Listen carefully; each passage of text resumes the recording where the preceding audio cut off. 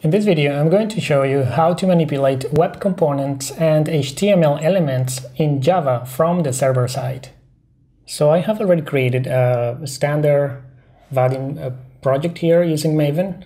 And once you have got the, this uh, initial project, you need to uh, add the elements add-on dependency. So just go ahead and copy this dependency over there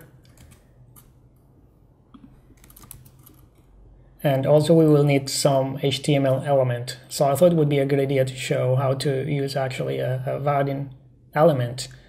Uh, and in this uh, video, I'm going to use the combo box element, which is pretty simple to use. And it's very easy to install if you have a Bower already in your operating system, which I have. If you don't have it, you can just uh, go ahead and install it. It's pretty simple as well. Uh, just remember to move to the uh, source main web app Vaadin directory and from here you can uh, run this command.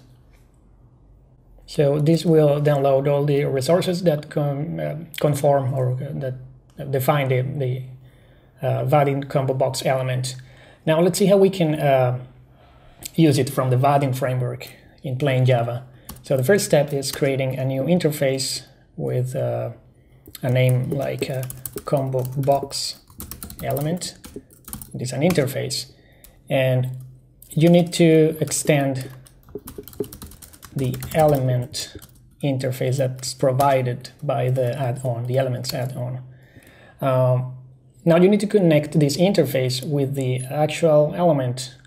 So how do you do that? Well, there is a import uh, annotation uh, that you can use to specify the element that you want to uh, use in this or you want to define in this interface. Uh, in our case is this file here. So I'm going to copy the path to this file, but of course I need to remove uh, the absolute part of the URL or the path. Uh, and uh, just starting from Vaadin because is going to be served by the Vaadin servlet, all right?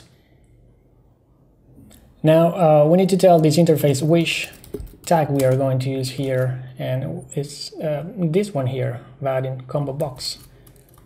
So again, you can define that with the tag uh, annotation.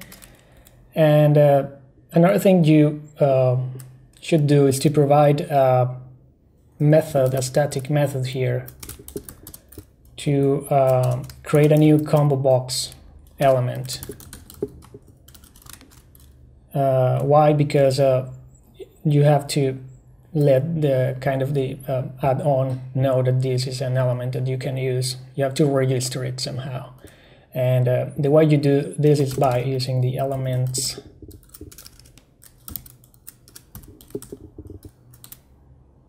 dot create uh, method.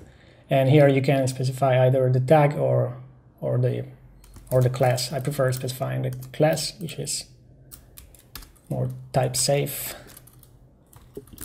Of course you need to return this. Now uh, the cool thing about this is that you don't have to implement this interface at all.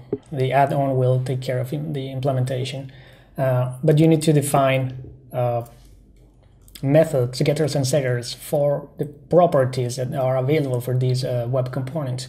So if I go to the documentation, uh, I can find that there are uh, particularly these two uh, attributes, label and items. So there's also value, but let's do it only for label uh, and items for this video. So I need to provide getters and setters for those.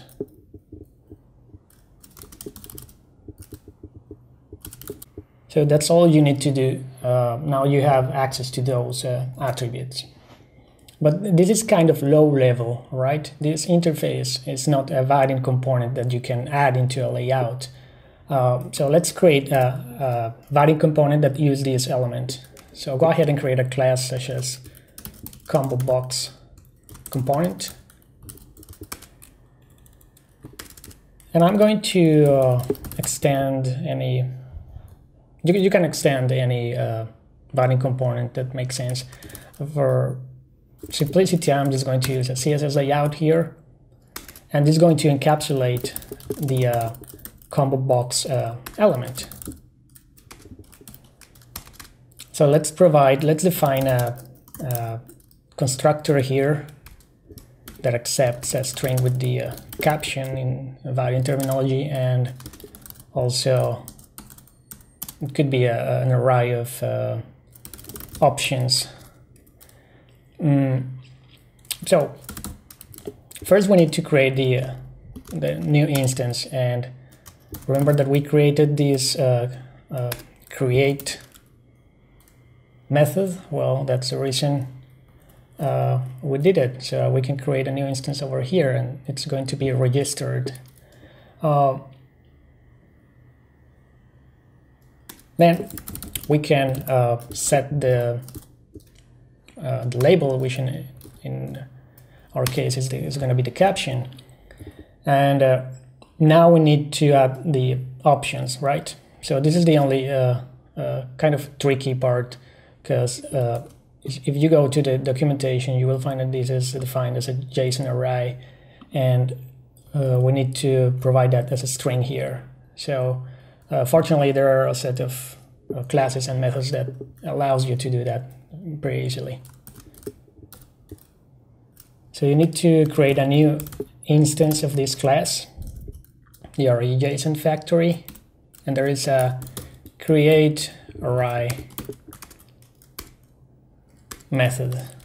Now, uh, if the options, if there are options, then we need to, uh, basically we need to iterate, do, do it any way you, you want to. I'm going to do it this way.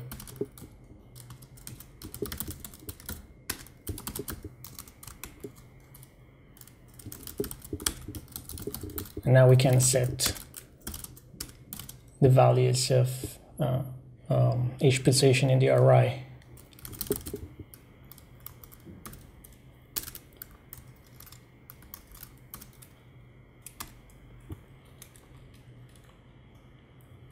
Then we can say element element dot set items and we can provide this array uh, in JSON format.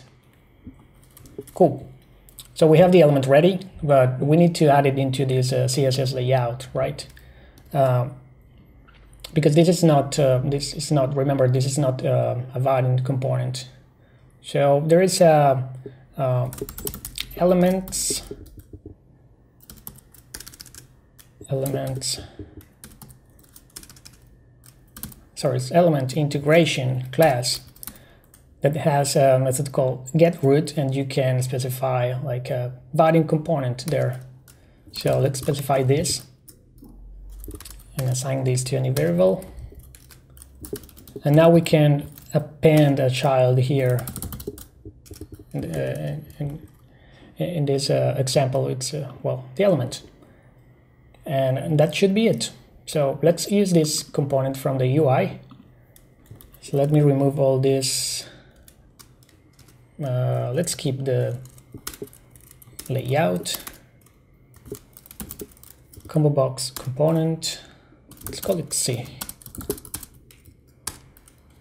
now I have to specify caption select an option and the options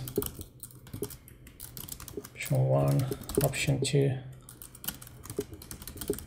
option 3 Finally, let's add it into some layout.